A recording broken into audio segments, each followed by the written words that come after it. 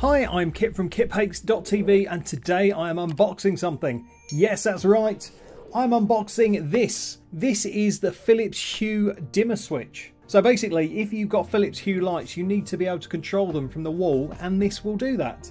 Now, this isn't wired into the mains or anything like that. This is powered by the CR2450 battery and uh, yeah it goes on the wall. So what I thought I'd do is unbox it and also show you how you can set it up to work with your Hue system. Now this it's worth mentioning that this isn't Bluetooth enabled. So if you've got Hue lights that are set up just via Bluetooth and not with the hub then it won't work. So uh, yeah bear that in mind. So uh, yeah let's get it out of the box and uh, see what we've got. So this was very kindly sent to me by one of my patrons Becky. She's a lovely lady so thank you for this, Becky. So these retail around about sort of 17 to 14 pounds. Uh, let's get it out. There's not much to it. There's just literally this in the box. Some little instruction guides. What have we got? It's like a map. The Hue dimmer switch is a battery powered dimmer for the Hue system that controls your preferred light settings that are configured in the Hue app. Yeah, that's basically it. Yeah, right, it's pretty straightforward. I think this is like safety warnings. Yes, right, okay, well, it's pretty simple really. So what we've got here is the dimmer switch and um, it comes in two parts. This is like the wall mounty part and this is just the remote. So you don't necessarily need to mount it onto the wall. You can just keep this.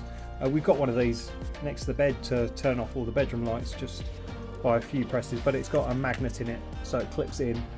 Or, you know, it's really good if you've got kids and they like don't want to get out of bed to turn the lights on. You could put this on their bedside table and they could press it and turn the lights on.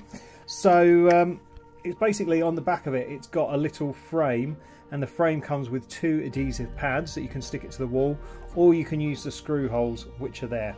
Now these don't go on a normal UK light switch but there is a way around that and I will show you that in a future video. I might even show you how I'm going to mount this one onto the wall but I think I think the idea is you're meant to kind of stick them up on the wall and uh, use them like a light switch but obviously you'll have a light switch on your wall already and it can be a bit confusing to people who just come to your house and don't really know it and like oh that's the light switch and it's it's a mess. So sometimes it is quite a good idea to cover up the regular light switches and I will make a video about how best to do that very soon. So uh, yeah at, at the moment it doesn't do anything it's not configured.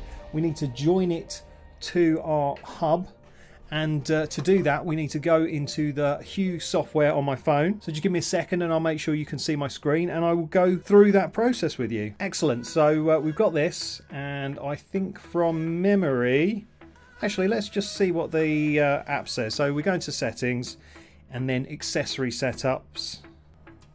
And then we need to add accessory. And what is it? It is a Hue dimmer switch Okay, so remove the plastic strip from the battery compartment. Ensure the LED at the front of the dimmer switch is blinking orange. I'm just going to do it with my teeth because I don't have a spare hand. There we go. right. Um, ah. Oh, no. It's not blinking orange. I need help. If the LED on the dimmer switch is not blinking orange... Oh, hang on. Is it? Yes, it is blinking orange. Right, it is. He's just doing it very slowly. I don't know if you can see that on the camera. Very slowly blinking. Yes, right, okay. I was expecting more of a... Right, okay. LED is blinking. Uh, searching for your dimmer switch. Oh! My light has turned green on here, so it must be finding it. Uh, now, I think I'm going to set this up in the hallway, but so I can just show you guys it here and now, I'm going to pretend that it's another light switch in my office. Okay, your dimmer switch is connected. You can now connect additional lights to the dimmer switch, find them in the light switch. You can now choose where to use your switch. Okay, so I'll continue setup. Uh, we'll say it's going in the office. There we go. And we can mess with the uh, studio lights as well. Right, your dimmer switch has been set up for the office with a standard configuration, but you can also customize the switch's settings. Uh, you can press once to turn on lights, or you can press multiple times to cycle between scenes, and that is what I mean. So I'm going to customize it. That is essentially added. We can give it a name, so we'll call it the. It's actually the second switch in here, so we'll say Office Switch 2, and it's controlling one room. You can make it control multiple rooms.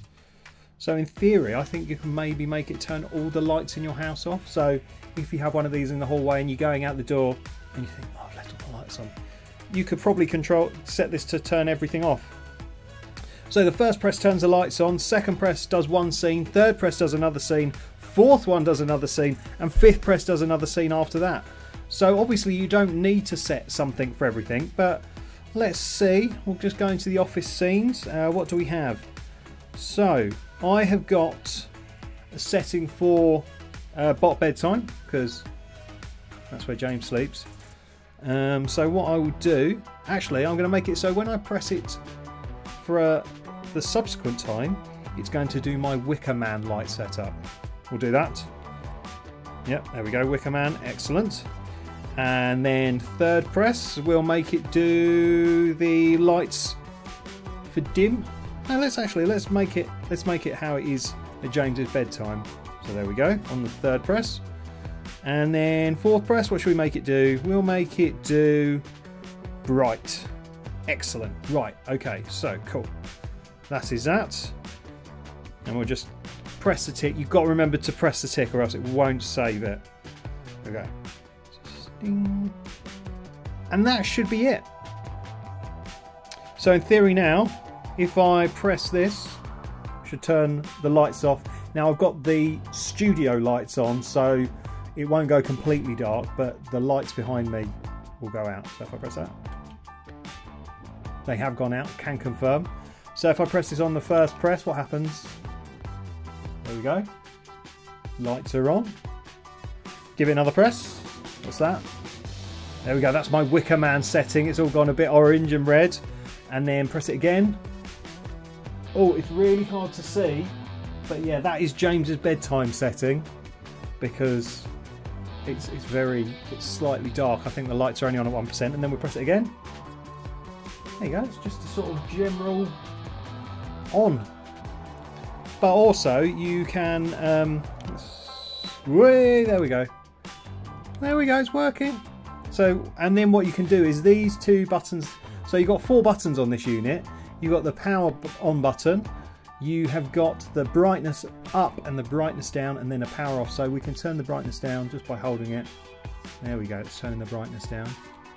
Make it go back up again. It's cool, isn't it? It's And it's sort of, you know, so configurable. And then we can just press the off button and they all turn off. So yeah, you can have like two switches per room so you could have one on the wall, like in a tradi traditional switching sense, and then I could even have one on my desk. So if I wanted to just change the lighting setup, let the ceremony commence. I can do that just by pressing the button. It's smart, isn't it? It's, it's really it's really simple, and like what's that? In less than like six minutes or so, we've got it all set up. So yeah, um, I did a video about changing the batteries in these. I'll leave a link to that um, the batteries do last about two years. Obviously, it depends how much use the Switch gets, but even in the sort of areas where the Switches do get a lot of use, it's probably about two years battery life. Yeah, so that's the Hue dimmer switch all set up. So what I what I do will I'll be I'll do. So what I'll do is I'll make a separate video about mounting these onto the wall in a way that covers up your existing light switches, but also retains some use of them, because you know you might live somewhere that's rented and you want to fit a Hue system, but you don't want to go sticking stuff onto the walls or screwing holes into the wall to fix these up. So yeah, it's a it's a non-destructive way of using these as traditional light switches. And also you don't need to be an electrician to do it. It's pretty straightforward. So yeah, that will be in a future video.